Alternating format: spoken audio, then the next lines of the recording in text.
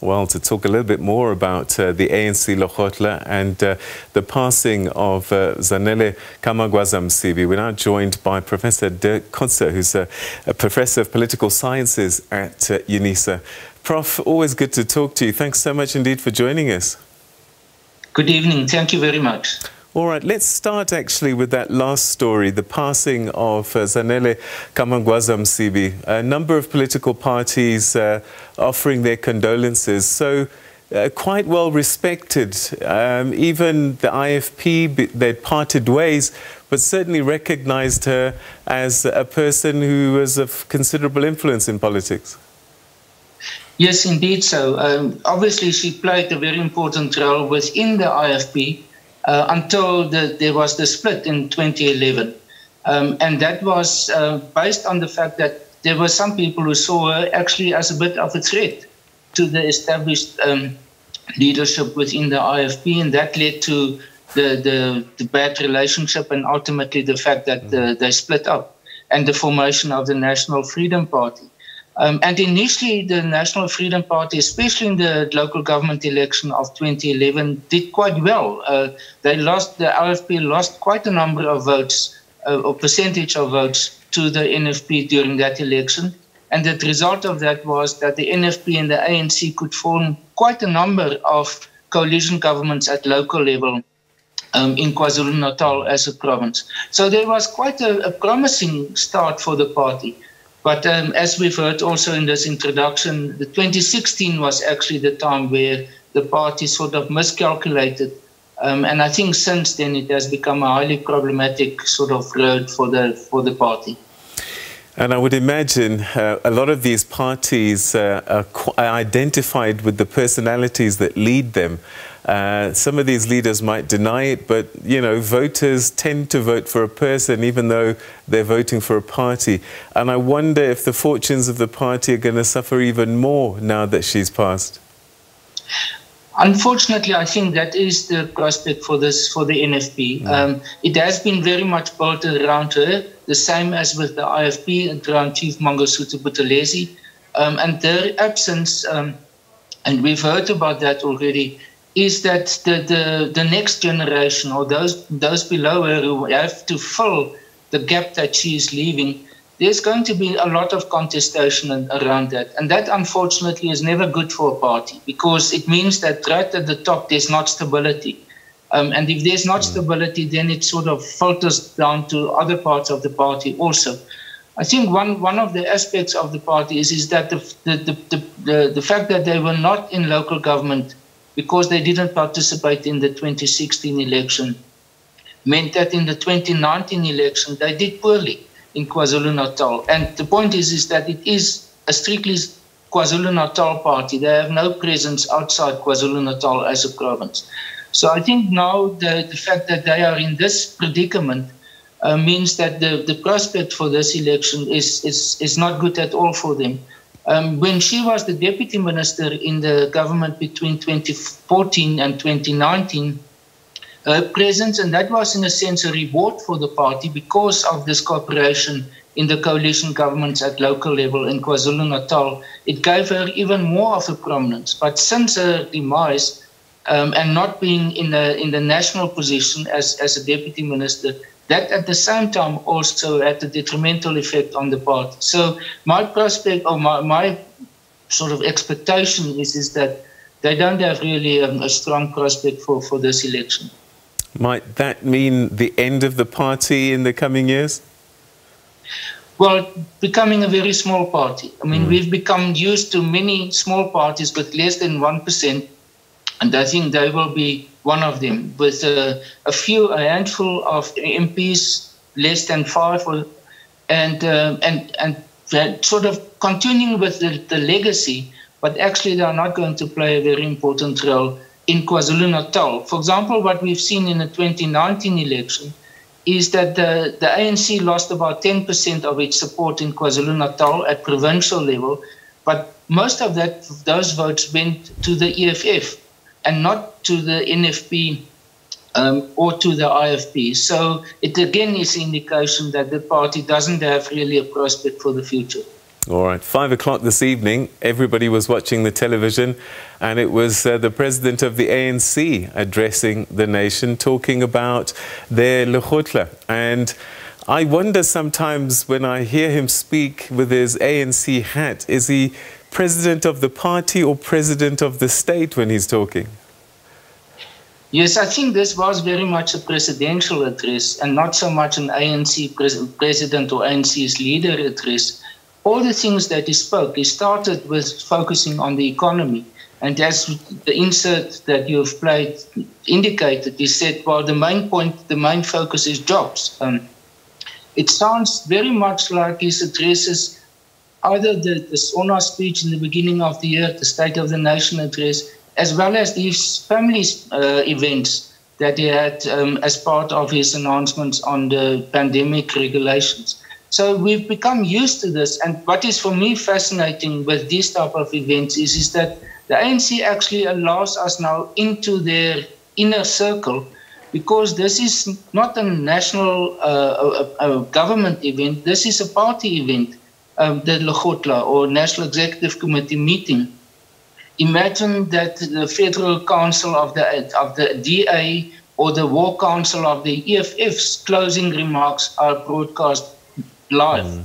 um, on national TV. So it gives us an indication that the ANC has moved into a sort of a mode of not anymore simply just a party, but actually dealing with it as from a sort of a national perspective. And this is again what we saw today. All right, let's talk about the substance of the things that he said. Um, it does sound quite familiar, doesn't it? Some of the things that he said. In fact, quite a bit of what he said. Well, I, I, think there was nothing really very new. I mean, he reiterated a lot of his messages. The focus was, as I said, very much on the economy in the first instance, the recovery of the economy, the plan, the, recover, uh, the uh, recovery and reconstruction plan that he has, uh, that was emphasized, as well as then the sort of the giving capacity to the state. And something which received uh, in this address of his a lot of attention and that's understandable because of the local government election, is the focus on the uh, district development plan as, as, a, as a model for development and coordination between the different spheres of government, the three spheres of government, mm. but with a focus on local government. Um, so I think this, this is uh, more emphasis than normal that he gave on, uh, put on this. But it, as I said, it's understandable because I would say what we've heard today, in a sense, was almost a dress rehearsal of the ANC of how they are going to approach the, the campaign for the local government election and what are the issues that they are going to emphasize. Talking about local government elections, a sigh of relief it sounds like because they're going to get a second chance at uh, uh, signing up for their candidates. Uh, I wonder, he didn't address it directly, but I'm sure there must have been discussions inside the uh, about why they failed to register their candidates on time.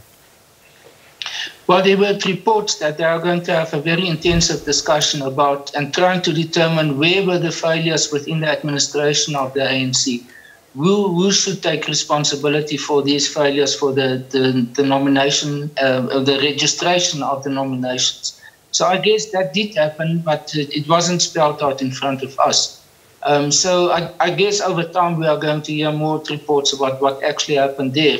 But to, as you indicate, to a large extent, that they have been saved from the consequences of that mm. by the fact that the IEC now decided um, that the registration of nominations can continue again. Uh, which is quite controversial because um, some parties, uh, like the, the bigger ones, the DA and the EFF and others, are, are very much opposed to it or are not very, uh, uh very much in favor of it because they obviously believe that they developed an advantage over the ANC with the mistakes that the ANC made. So uh, we can almost guarantee a legal challenge then coming. Yes, the DA already indicated. I listened to one of their uh, spokespersons, and they already indicated that they are going to do that. So I, I think that is that should be expected. But there's there's very little time left for this. Um, the registrations uh, will be next weekend, the 18th and 19th of September. and the registrations mm. uh, the, of, of the nominations will most possibly close almost immediately after that. So um, I'm not sure how everything will be fitted mm. into this. Um, this is a very tight schedule that I have left for all the parties. Uh, you're not a lawyer, nor am I, but one gets a sense that you almost have to go directly to the Constitutional Court for clarity on their judgment to get this out of the way. I think the, the problem is, is that the Constitutional Court's order, because it's only two pages what we've received, does not refer to this. Um, and I think one of the aspects which is, is, is sort of not clarified is what they meant by that the, the timetable of the election can be amended, but when only under, under necessary circumstances. And it's referred to twice in these two pages. And the second time, it actually refers to um, the, the registration of voters and not so much about, it never refers to the nomination process. So this is the interpretation that the IEC gave to, to this uh, order by the court. Um, and I think um, it's, I'm not sure whether that interpretation is necessarily what the court had in mind. All right. And uh, perhaps finally, we've run out of time, but do you think that the president of the ANC said enough to give people uh, food for thought as they start to think about the local government elections? I think not much this time. It was very much a general this, mm. uh, address that he gave to the public. Um, there's not very specific aspects. He didn't talk very much about local government specifically, except, as I mentioned, this district uh, development model that he referred to. Uh, but the issues are going to emerge. But, you know, unfortunately for all the parties, the, the campaigning period will be very short. So yeah. it's not going to be typical of it where there, over time some issues emerge and a sort of a public debate develops around. Um, and I think from that point of view, it might be to the advantage of the ANC that they don't have to defend their record of local government and, and governance in general at local level. And uh, President Zuma's uh, uh, medical parole, I guess, is a good win for everybody. It is, except maybe for the public. Um. It is for the ANC, definitely, and the internal relations within the ANC. I think this is a way out. It's a sort of a an easy solution for um, a predicament that they that was ongoing within the ANC. But um, as we've heard from comments uh, by members of the public, there's there's absolutely no consensus that um, about it. Some support it, and some are very much critical of it because they see it as favouring persons who were in important positions versus the public and ours who will, will not receive the same treatment. So it, it's, it's a difficult situation to deal with. Um, and the, there's winners and losers in this. All right. Professor Dirk Kotze, always good to talk to you. Thank you so much indeed uh, for joining us on the program. Thank you very much. All right. That's a uh, lecturer in uh, politics at UNISA, Professor Dirk Kotze, giving us uh, his thoughts on the ANC's Lekgotla and uh, what's come out of that. We're going to take a quick break, and when we come back, matters Guinea